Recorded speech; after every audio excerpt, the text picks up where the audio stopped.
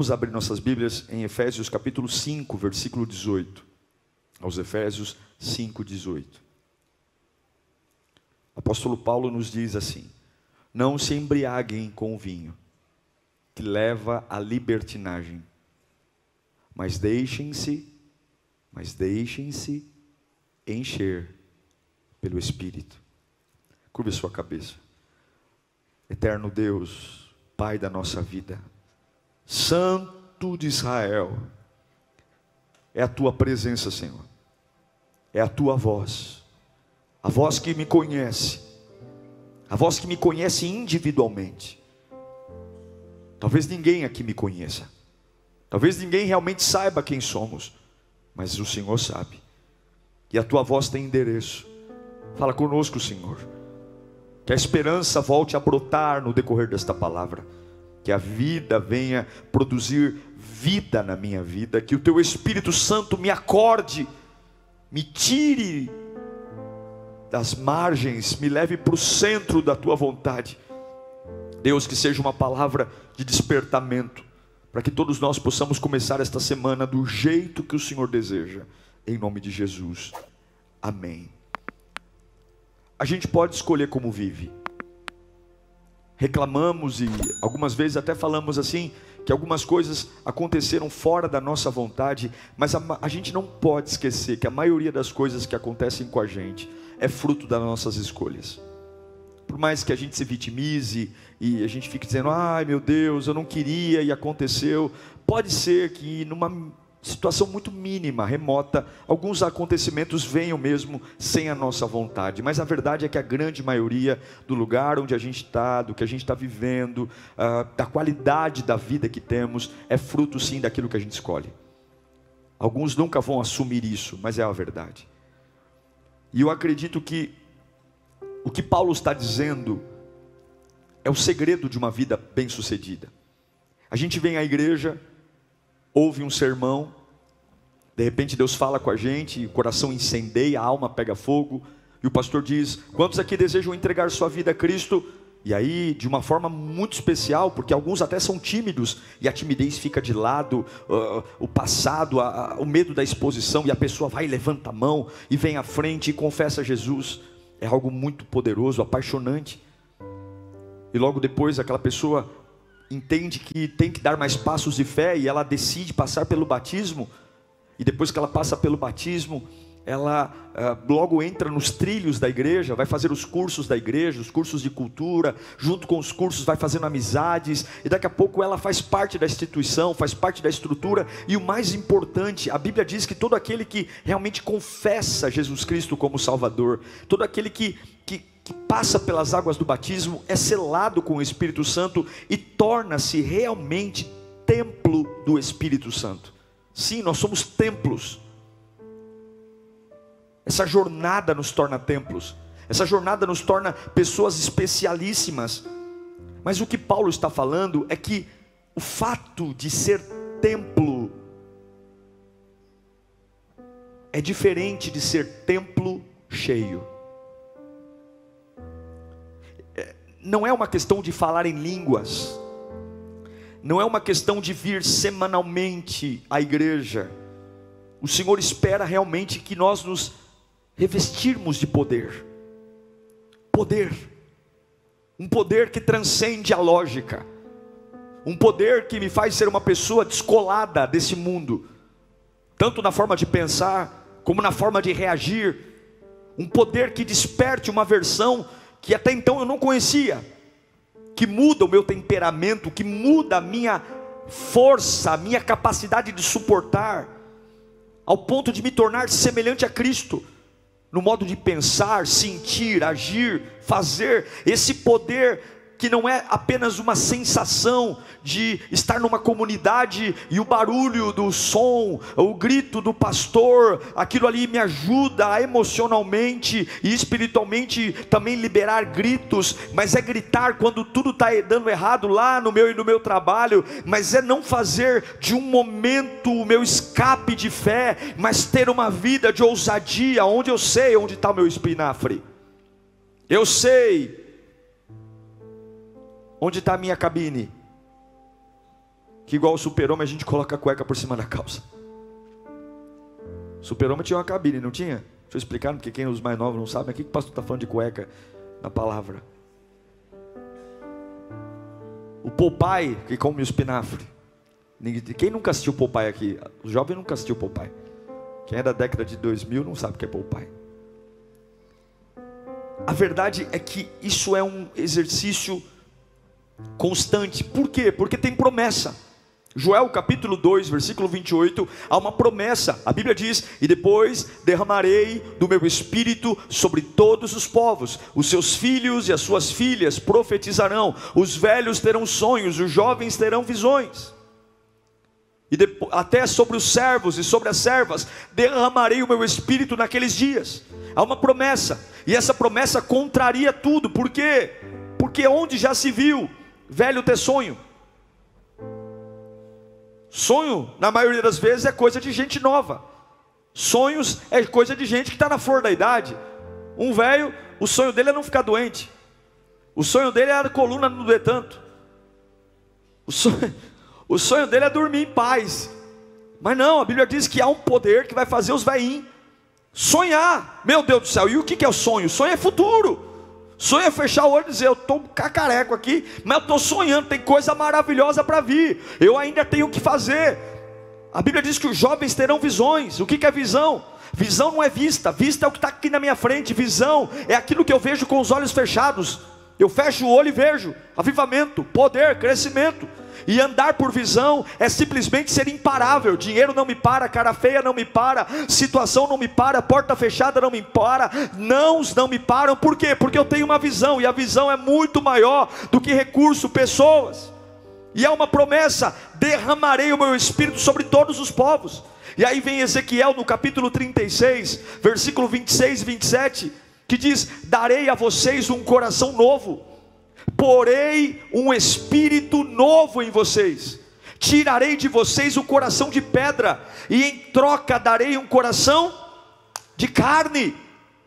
Porei o meu espírito em vocês e os levarei a agir segundo os meus decretos e obedecer fielmente às minhas leis. Sim, é uma unção que muda tudo muda hábitos, muda comportamentos, muda jeito de falar. As pessoas vão olhar e dizer: você está diferente. Você não é mais o mesmo, você não tinha essa estrutura. Eu conheço você, jogamos bola junto muito tempo, estudamos juntos. Você não é o mesmo. Alguns vão dizer que você está enjoado, alguns vão dizer que você está exibido, mas não tem problema. A verdade é que eu não sou mais o mesmo. Porém, existe uma diferença entre ser templo e ser templo cheio. Existe uma diferença entre ser um cristão e ser um cristão cheio. É por isso que Paulo fala: não se embriague com vinho, mas enchei-vos do Espírito Santo. Eu posso ser templo, batizado, renovado, falar em línguas e ser um templo vazio. João 3,5 diz: Digo-lhes a verdade, ninguém pode entrar no reino de Deus se não nascer da água. Só da água? E do Espírito. O batismo com a água é fundamental, mas o poder do Espírito em nós é vital. Porque o batismo é uma confissão pública de que eu sou propriedade de Jesus, mas o Espírito constantemente em mim produz vida. Em Tito, capítulo 3, versículo 5, Paulo vai dizer: não por causa de atos de justiça, por nós praticados, não é por boa vontade, não é porque eu sou um bom voluntário, ai que orgulho de mim, não, não, não, mas devido à Sua misericórdia, Ele nos salvou pelo lavar regenerador e renovador de quem? Do Espírito, tudo é o Espírito, tudo, em outras palavras, é o Espírito que inspira.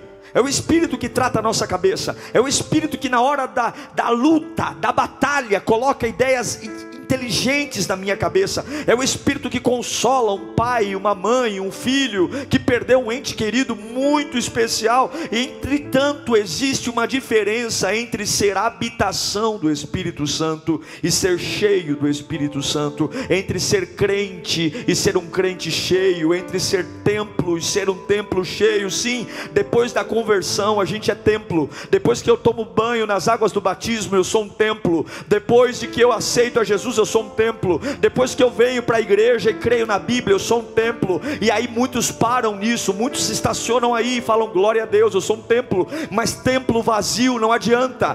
Templo vazio só serve para gerar mosca, teia de aranha, só serve para gerar o que não presta. Nós só conseguiremos testemunhar com autoridade a transformação do evangelho. Nós só conseguiremos ser adversários páreos para a obra das trevas. Nós só conseguiremos dar conta de tudo que vem contra nós, não quando somos apenas um templo, mas quando temos uma rotina, uma escolha diária de dizer eu sou um templo, mas sou um templo cheio, cheio do que? Raiva, ódio, não, do Espírito Santo. É nossa obrigação, meu irmão. E eu me pergunto a partir de mim aqui quantos de nós nos orgulhamos dos nossos nossas escolhas que nos tornaram templos. Somos templos maravilhosos. Há uma bela coluna, há um belo forro, há uma bela estrutura. Olha para nós e fala: Olha quanto tempo eu congrego, olha quanto tempo eu vou à igreja, olha meus dons, olha meus talentos, olha meu sacrifício. Eu não falto na escala. E a grande questão é: o diabo não respeita templo,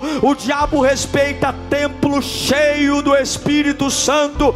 Não basta ter parede, não basta ter forro, não basta ter púlpito, não basta ter luz, não basta ter som, não basta ter volume, não basta ter cadeira, tem que ter aquele que é a terceira pessoa da Trindade. Ele não é uma sensação, ele não é um arrepio na nuca, ele não é um vento só, ele é o próprio Deus em nós, em nome do Espírito Santo de Deus. Hoje, todos aqueles que são, parabéns para você, porque você é, mas não basta ser, tem que ser tomado da glória, tem que ser cheio, cheio para olhar para Macumba e não ter medo, cheio para acordar numa segunda-feira e a carne gritar: que semana desgraçada que vai ser essa, que semana de mesmice, e o meu espírito vai despontar e dizer: cala a boca, carne, cala a boca, porque é semana de novidade, é semana de avivamento, é semana de poder de Deus. Quando a minha carne falar, desista, desista,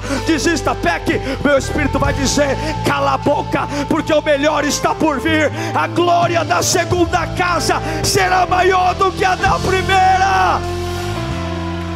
É o Espírito, é o Espírito, é o Espírito. Não basta ser templo, tem que ser templo cheio. É o Espírito. É o Espírito que é o combustível, é o Espírito que é o intercessor, é o Espírito que é o consolador, é o Espírito que me faz lidar bem com o dinheiro, é o Espírito que controla os meus impulsos, é o Espírito que me faz frear quando tem um abismo e a carne diz pula, pula, pula, e o Espírito diz calma, calma, calma. É o Espírito que segura a minha língua quando eu tenho vontade de falar mal de, de alguém, fazer fofoca. O Espírito de repente me faz morder a língua, é uma dor terrível, faz morder o céu da boca, faz se dar uma engasgada bem na hora que você vai falar mal de alguém, você fala, não eu estou te engasgando porque eu domino você. Você é cheio de mim, é o Espírito. É o Espírito que quando você está emocionado e quer comprar uma coisa que não precisa, o cartão de crédito trava. Você fala, mas tem limite, mas o cartão não passa. A maquininha do homem faz fumaça lá, mas não passa. Porque o Espírito fala, eu que te controlo. Isso aí é seta do diabo, é a tua emoção. Amanhã você vai se arrepender. É o Espírito Santo que faz alguns contratos que você está voando lá para assinar, bobinho, todo só vendo um lado da história. Não reparou em tudo. Esse contrato vai arrebentar tuas finanças. Essa pessoa com que você está fazendo negócio é caloteiro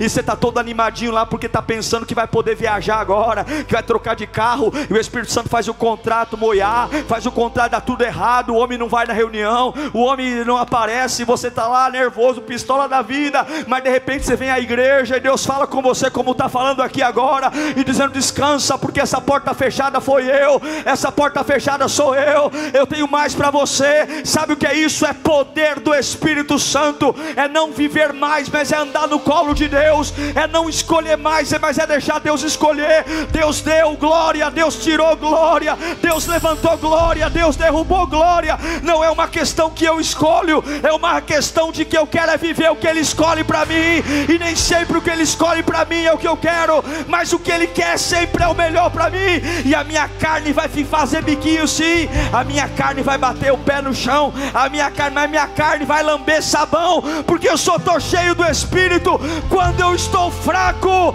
é aí que eu estou forte. Em nome de Jesus, levanta a tua mão para cá. Fala comigo, ressuscita Espírito. Fala mais alto, ressuscita Espírito. Mais alto, ressuscita Espírito. Em nome de Jesus. Em nome de Jesus. É o Espírito. É como um carro sem gasolina. Lindo, maravilhoso. Tudo no eixo, lavadinho, encerado. Já viu carro em concessionária? Eu me lembro quando eu comprei o meu, um, meu, meu, um golzinho, que eu, meu primeiro carro zero, quando eu comprei em 2009. Todo animado para sair. Aí o vendedor falou assim: Ó, senhor, a primeira coisa que você vai fazer quando sair daqui, o que, que é? O senhor vai parar num posto. Porque eles deixam exatamente a quantidade de combustível. O povo miserável. Deixa a quantidade exata. Eles calculam a distância da concessão. Ele fala tem que ser no primeiro posto. Se for no segundo, já não chega. Agora você já imaginou. Você sair com aquele carro bonitão da concessionária. E de repente está lá parado na Radial Leste. Com um triângulo atrás do carro. Pisca-alerta ligado. O que aconteceu? Acabou o combustível. A gente já passou por, já vi, já vi gente de carro importado parado porque acabou o combustível. Assim é a vida cristã. Ser templo é ser carro. Ser templo cheio é carro com combustível. Não se gabe das rodas, não se gabe do volante, da cor, da pintura. Orgulhe-se de ter o tanque cheio. Porque carro sem combustível pode ser do ano, pode ser importado, não anda tanto quanto um Fusquinha 60 aí. Perdoe quem tem um Fusquinha, que hoje tem um Fusquinha 60 é, vale mais que carro importado, né? Escute. Ser cheio da habitação de Deus é um problema seu. Porque se você não for cheio, alguma coisa vai ocupar a sua vida. Vazio você não fica. Se você não for cheio, você não vai amadurecer. E se não amadurecer, não vai ter a estatura de Cristo. Se você não for cheio, você não vai entender que você já é vencedor. É mais do que vencedor. E aí você vai se enroscar nas batalhas da vida, tentando deduzir se vai ganhar ou não, quando Deus já disse que qualquer batalha você já é mais do que vencedor. Na pior das hipóteses, eu ganho, tá entendendo? No pior dos momentos, eu ganho. Traz aqui para mim, por favor.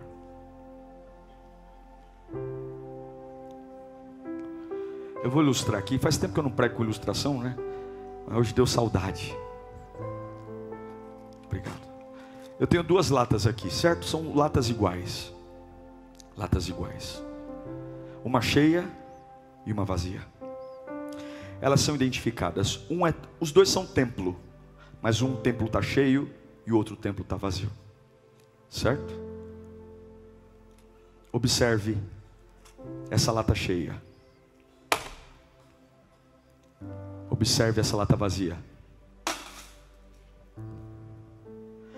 A lata cheia, ela tem um som conciso. A lata vazia, ela é estérica. Ela reverbera. A lata cheia, quando ela é agredida pela vida, ela se mantém silenciosa e consistente. A lata vazia, ela vai longe. Pega para mim, por favor. Eu não sabia que ela ia tão longe. Está muito desviada essa lata. Está mais desviada do que eu imaginei. A Bíblia diz, Salmo 141, versículo 3. Leia comigo no 3. 1, 2, 3.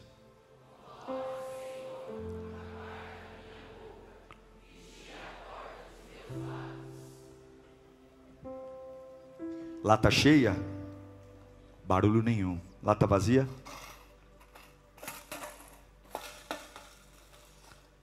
Quando você abre a boca, se é lata cheia ou lata vazia? As pessoas que trabalham com você falam que você é lata cheia ou lata vazia? Quando o diabo te persegue, você é lata cheia ou é lata escandalosa? histérica, nervosa. Lata cheia ou lata vazia? Sabe qual é a diferença? É que ambas são lata. Só que uma, quando acabar a mensagem, eu vou dizer guarda na dispensa. E a outra eu vou dizer joga no lixo. Porque o valor da lata não está na lata. O valor da lata está no que tem dentro dela. Uma vai para o armário e a outra vai para o lixo. Mas as duas são lata. Só que uma tem algo, a outra não tem. Uma tem algo, a outra não tem. A Bíblia diz em Mateus capítulo 12, escute aqui.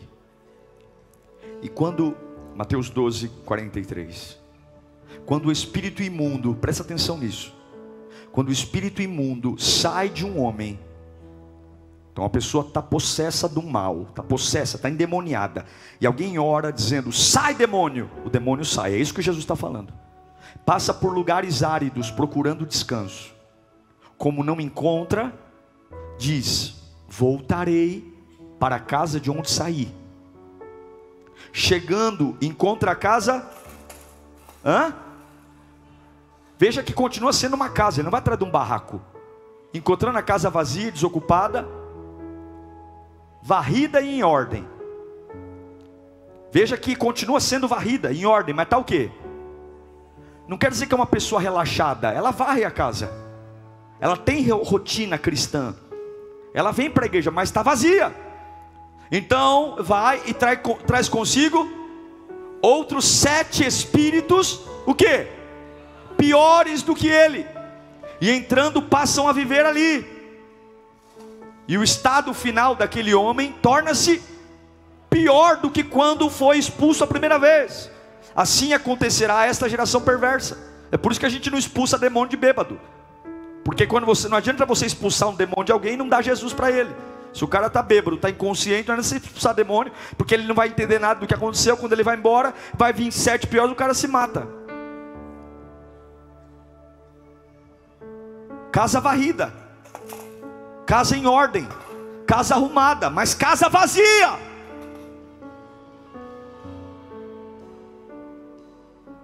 Não adianta ser templo vazio. Todo vazio é preenchido ou por Deus ou pelo diabo. Ah, não fica isentão aí, tá cheio de isentão. Ah, eu não sou Lula nem Bolsonaro.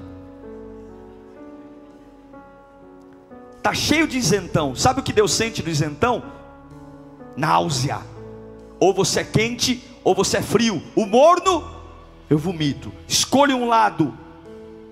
Não adianta falar, ah, eu não, eu sou limpinho, varro a casa todo dia. eu varro a casa todo dia, mas assim, eu não vou me comprometer. eu vou continuar indo. Seu tonto, o diabo vai entrar com tudo e vai arrebentar você. Lata vazia faz barulho, lata vazia é histérica. Lata vazia não suporta a diversidade. Lata vazia faz escândalo. Lata vazia ocupa tudo que joga cabe. Jogam raiva, ela põe. Joga ódio, ela põe. Lata vazia se ofende. Lata cheia é silenciosa. Lata cheia é, é, é consistente. Lata cheia suporta pressão. E lata cheia, tudo que quer entrar tem que voltar, porque não cabe mais nada. Ela está cheia. É por isso que Paulo fala: não se embriague com vinho, porque o efeito do vinho é passageiro, mas enchei Do Espírito Santo. Não é que a vida vai ser fácil, não é que a vida vai ser mole, não é que você vai ter caminhos de delícia, porque o caminho de delícia não é a jornada, o caminho de delícia é a pessoa que caminha com você.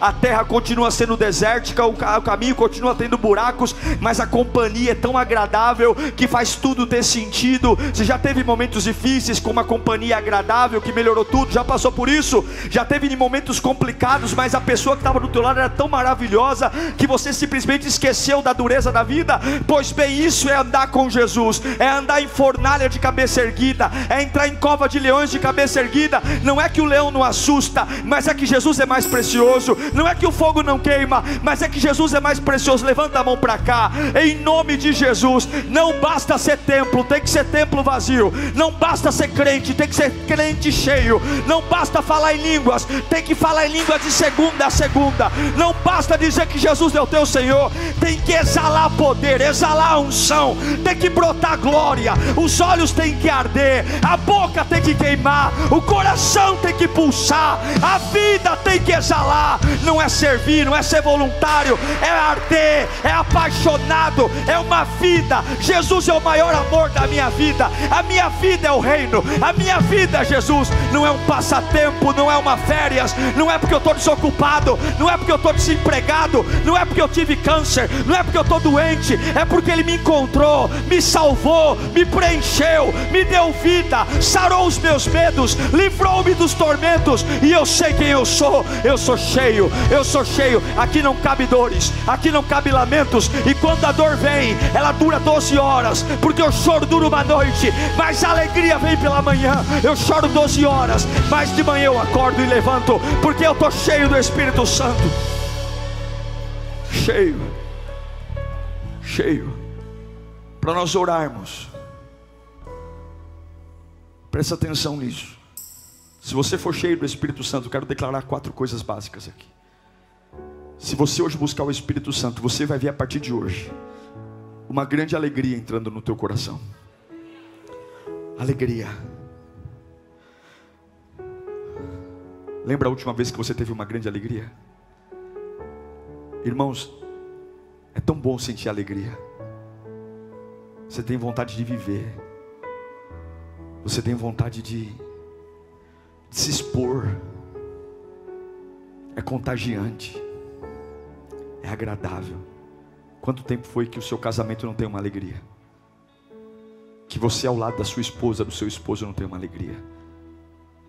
De simplesmente dar risada fácil. Sabe aquela risada que que é fácil? Aquele prazer, tudo é leve. Aí dá um shopping é leve, é uma viagem é leve, mas quando não tem alegria, tudo é difícil. Tudo é difícil. Tudo é confusão. Tudo, tudo, tudo, tudo joga para outro dia. Atos 13, 52. Promessas para uma igreja cheia do Espírito Santo. A Bíblia diz, Atos 13, 52. Os discípulos continuavam cheios de alegria. Cheios de alegria. E do Espírito Santo. Levanta as mãos. Eu declaro alegria sobre a sua vida alegria de verdade, acordar feliz, se pegar sorrindo de verdade. Não tem nenhum motivo, simplesmente você sente aquela euforia.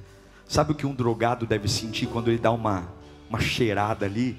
Sabe quando um, um, viciado em álcool, quando bebe, fica, você vai sentir isso sem nenhum tipo de alucinógeno, porque a ordem de Paulo é não precisa beber, só se encha do Espírito Santo.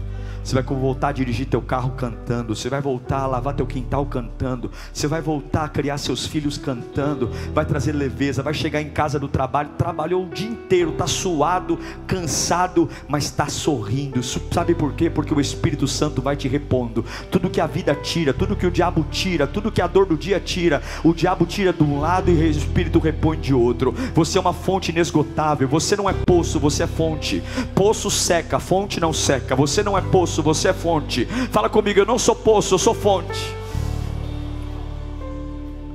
Segunda coisa que eu quero profetizar: coragem. Atos capítulo 4, versículo 31. Diz assim: Depois de orarem, tremeu o lugar onde estavam reunidos, e todos ficaram cheios do Espírito Santo. Leia a partir de agora. Um, dois, três. Não adianta você querendo sair pregar sem o Espírito Santo. Tem gente que vai pregar, o demônio manifesta e sai correndo. Tem gente que vai pregar e o camarada, porque não ouviu a mensagem, fica ofendido. Coragem, levanta a mão para cá, declaro coragem sobre a sua vida. Coragem sobre a sua vida. Coragem sobre a sua vida. Coragem sobre a sua vida. Você vai se encher do Espírito Santo, você vai ter coragem de falar com gente que você nunca teve coragem. Deus vai dar palavras certas. Você vai entrar em lugares nobres, você vai falar com gente, gente que não ouve ninguém. Deus vai te dar palavras certas. Você vai tocar corações de pessoas que falaram: "Eu nunca vou ouvir sobre Jesus". Deus vai te dar coragem. O Espírito Santo vai falar sobre você. Você é como Moisés, eu não sei falar, eu não sei falar, Senhor. Minha língua é pesada. Eu sei, eu dei a tua boca, eu fiz a tua boca, eu fiz o teu tom de voz. Eu fiz você, eu vou colocar o meu espírito e eu vou potencializar você. Receba coragem. Declaro que o Espírito Santo vai te fazer mais forte. Atos 11, 24. Ele era um homem bom, cheio do Espírito Santo e de fé, e muitas pessoas foram acrescentadas ao Senhor. Uma fé cada vez mais forte. Ao invés de desanimar, eu creio mais. Creio mais creio mais, creio mais. Por isso que todo culto é um grande culto. Por isso que o melhor culto é o próximo. Por isso que a melhor louvor é o próximo. Porque a cada culto a minha fé está mais alta. A cada culto a minha fé está mais forte. A cada, a cada culto eu adoro mais profundamente.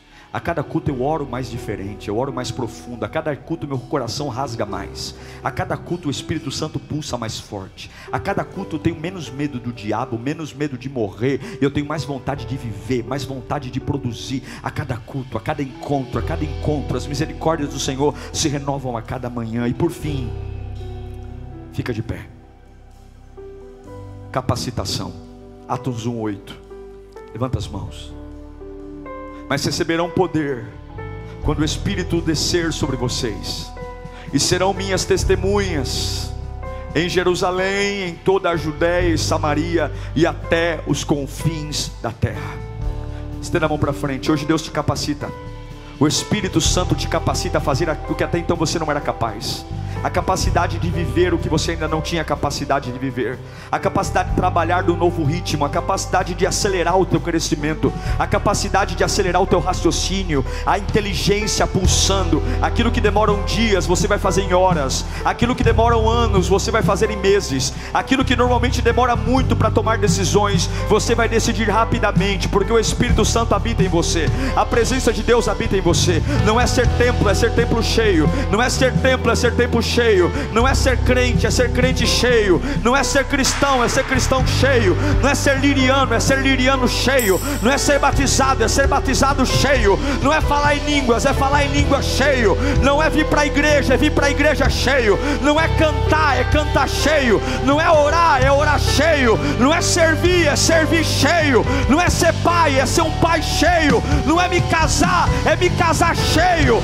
É cheio, é acordar para ir trabalhar cheio cheio, é viver cheio, cheio, cheio do Espírito. Eu aceito perder tudo, menos o Espírito. Menos o Espírito. Menos o Espírito. Feche os seus olhos. Começa a buscar o Espírito Santo. Começa a buscar o Espírito Santo. Começa a falar, eu quero ser cheio, eu quero ser cheio. E de repente o poder vai pegar você, eu quero ser cheio. Eu sei que você tem feito tudo, eu sei que você está rigorosamente em ordem. Eu sei que você tem se afastado do pecado. Eu sei que você tem lutado, lutado para estar, tá, mas eu tenho que viver o Espírito Santo. E não é só nesse culto, não. Vai falando para ele, Espírito Santo, vai embora comigo hoje. Eu quero passar esse domingo cheio. Eu quero passar esse domingo cheio do Espírito Santo. E tá cheio do Espírito Santo não é ficar falando em línguas, não. Tá cheio do Espírito Santo é antes de tomar decisão, falar com Ele, é sentir a alegria dele, é não deixar ninguém entrar no meu interior, nenhuma palavra contrária, nenhuma ofensa, nenhuma cara feia, nada vai destruir o que Ele começou, nada vai destruir o que Ele fez em mim, nada vai destruir a boa obra de Deus na minha vida, nada vai destruir o poder. Vai falando com Ele agora, vai pedindo que Ele venha, vai pedindo que Ele venha, vai pedindo que Ele venha, vai pedindo, enche-me, Senhor, enche-me, Senhor, enche-me, Senhor, enche-me, Senhor, enche-me. Enche-me, Senhor. Enche-me, Senhor.